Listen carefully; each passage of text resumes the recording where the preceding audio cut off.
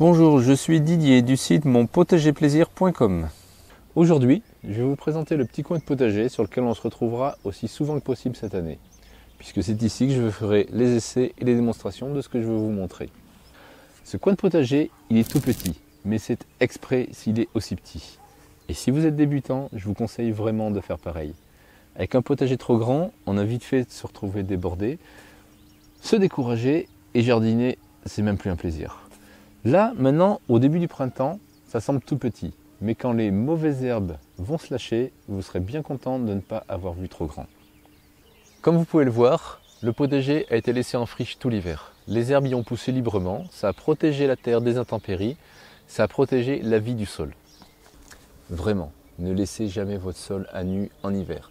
Pas qu'en hiver d'ailleurs, ne laissez pratiquement jamais votre sol à nu. Je vous expliquerai pourquoi dans une prochaine vidéo. Mais revenons à nos mauvaises herbes, qui n'ont d'ailleurs de mauvaises que le nom. Si vous voulez bien, on va les appeler par leur vrai nom, les adventices. Adventis, c'est pas très dur à retenir. Ça a la même racine que le verbe advenir. Ce sont les plantes qui sont arrivées là toutes seules.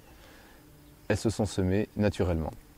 En fait, ce qu'il faut savoir, c'est que ce sont nos alliés. Elles sont là pour nous aider. Et dans un premier temps, elles vont nous renseigner. Elles vont nous donner des indications sur la nature du sol et sur ses caractéristiques. Alors ici, on a surtout du mouron blanc. C'est trop bien le mouron blanc.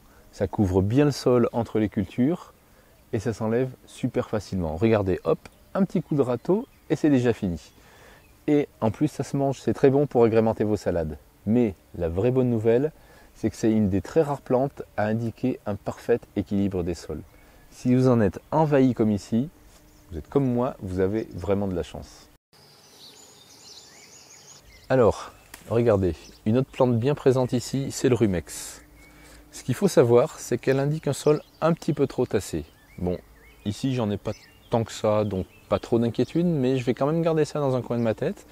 Et je ferai attention pendant toute cette saison de ne pas trop tasser le sol.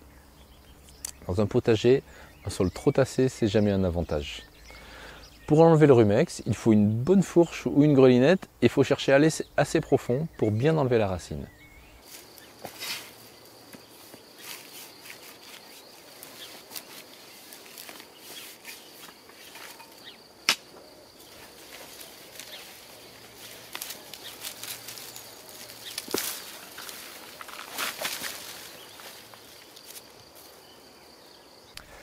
Allez, encore un petit conseil. Quand vous désherbez en fin d'hiver, n'en faites pas trop. Soyez malin, soyez paresseux. Déjà, ça va vous fatiguer pour rien. Et puis, vous n'allez pas utiliser tout de suite la totalité du potager. Et sur les parties où le sol sera nu, les adventices vont s'en donner à cœur joie, elles vont repousser, et en peu de temps, tout le travail sera à refaire. Donc, laissez-les tranquilles, ne désherbez que là où vous avez besoin de la place tout de suite. Je vais le faire aujourd'hui sur deux planches, le reste, ça sera pour plus tard. Tiens, au passage, ce qu'on appelle une planche de culture, ou plus simplement une planche, c'est une zone rectangulaire du potager, une zone que l'on va cultiver par opposition aux endroits où on en marchera entre les planches. C'est un endroit où on fera bien attention de ne pas marcher pour pas tasser la terre.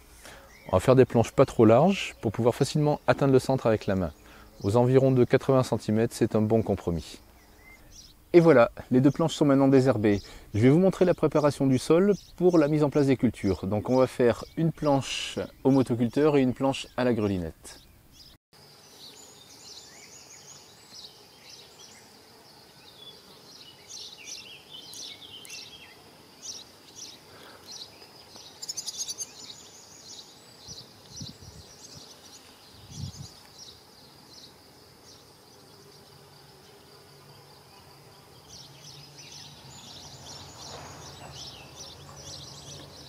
Et voilà, donc comme vous avez pu le constater, il y a une solution qui est un petit peu plus rapide que l'autre, mais bon, c'est pas forcément celle que je recommanderais.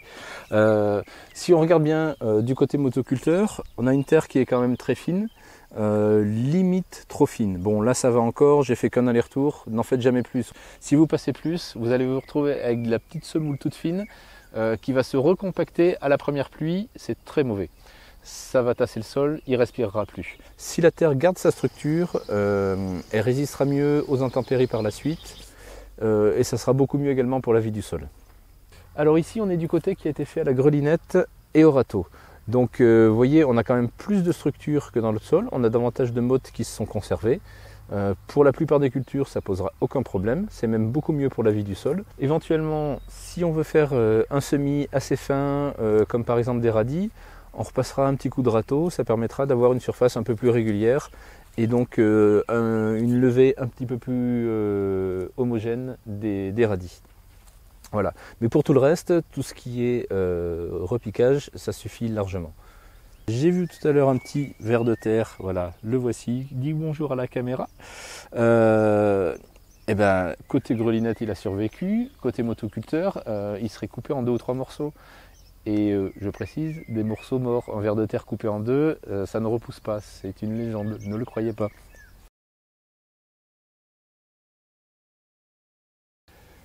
Et voilà, on se retrouve très bientôt pour la mise en place des premières cultures. Je vous montrerai plein de petites astuces pour travailler mieux, pour être plus efficace et pour éviter toute fatigue inutile. Ça sera mieux pour vos cultures, ça sera mieux pour vous et jardiner restera un plaisir. A très bientôt